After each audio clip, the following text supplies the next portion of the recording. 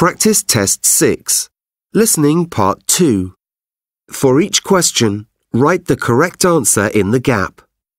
Write one word, or a number, or a date, or a time.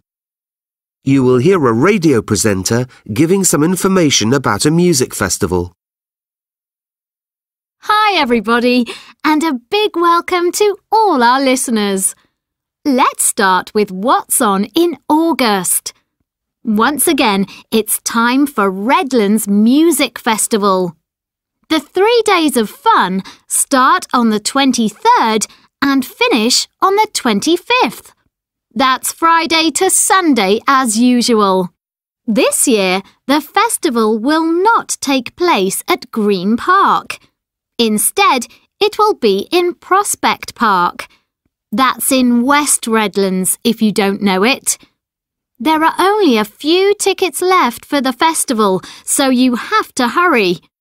You need to phone 730 498 to book them.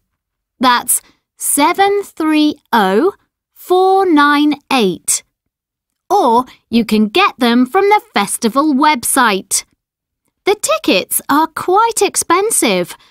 Last year, they were £50 for a day ticket, and this year they're £2 more. But it's a great day out. Remember that group bookings get a 10% discount. And don't forget to bring money for food.